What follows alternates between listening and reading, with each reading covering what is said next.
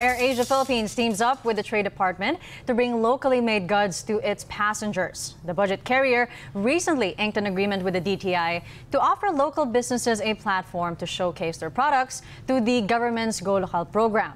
Homegrown brands such as handmade accessories, apparel, and watches will be available for purchase to guests flying with AirAsia soon. AirAsia says this initiative also fulfills President and CEO Tony Fernandez's vow to promote Filipino brands all over ASEAN. Telco firm Converge ICT sees double-digit growth in its enterprise business thanks to the return to office order here in the Philippines. And despite less people working from home, Converge Chief Strategy and Sustainability Officer Benjamin Azada says its residential business is still growing thanks to on-top markets, even in metro areas.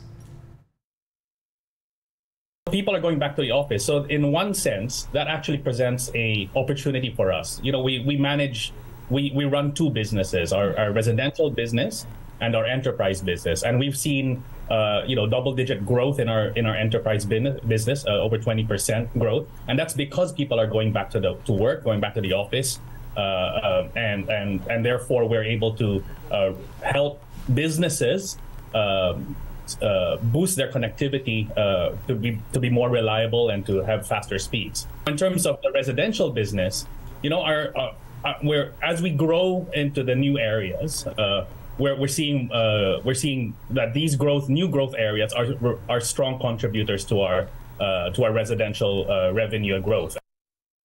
The automotive arm of Ayala Corporation signed the agreement on Friday with BYD Philippines.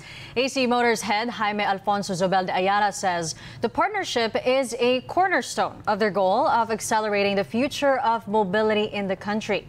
China's BYD is the world's largest electric vehicle manufacturer. It produced nearly 1.9 million battery and plug-in hybrid electric vehicles in 2022. A new supply shocks on inflation and a worse than expected impact of the El Nino phenomenon. Now, Philippine Central Bank Governor Eli Remolona tells Nomura these are among the factors that may trigger a resumption of their policy tightening. Easing inflation has allowed the BSP to keep rates steady at 6.25% for two consecutive meetings now. Remolona says the pause in the hiking cycle means the data remains mixed and inconsistent now, the Philippine inflation eased further in July, coming in at 4.7%.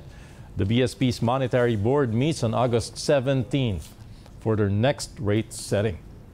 Fitch slashes its economic outlook for the Philippines after the country's slower second quarter growth. Fitch revised its forecast from the previous 5.9% to now 5.3. It expects the Philippine economy to continue facing headwinds, among them high interest rates, weak external sector, and adverse weather conditions. Economic growth in Q2 decelerated to 4.3% after a strong showing of 6.4 in the first quarter. The Marcos administration has vowed to boost government spending to spur growth. The British government mulls a response to America's decision to prohibit some tech investments in China.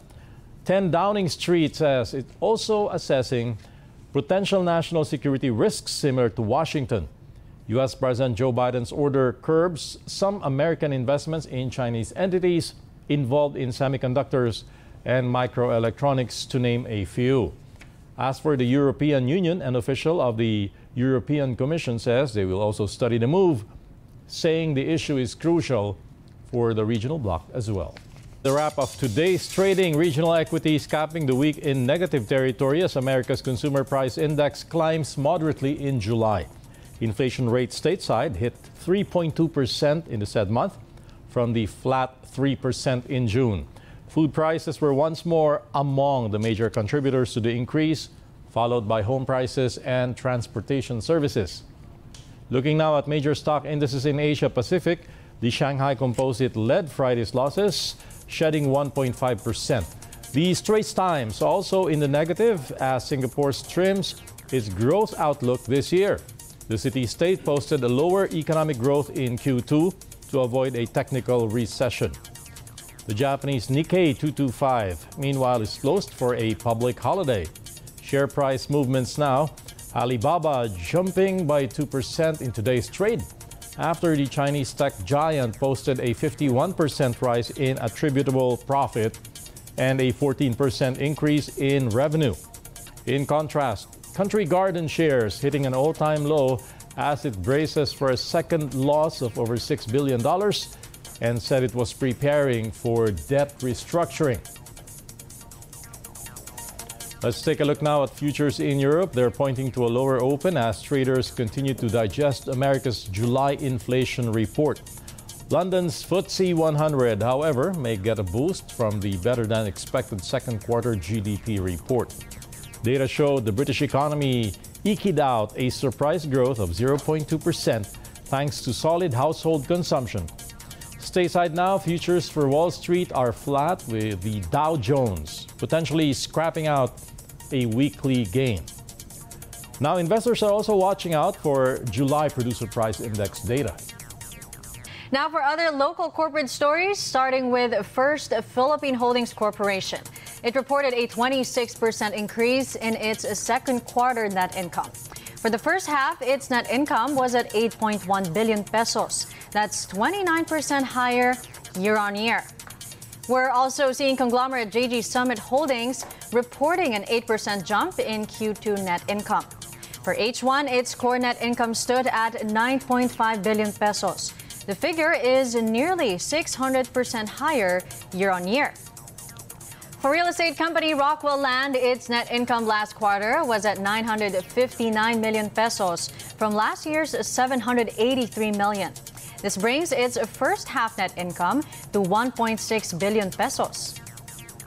As for RL Commercial REIT, its net income in the said period was at 1 billion pesos, pushing its H1 net income 10% higher year on year.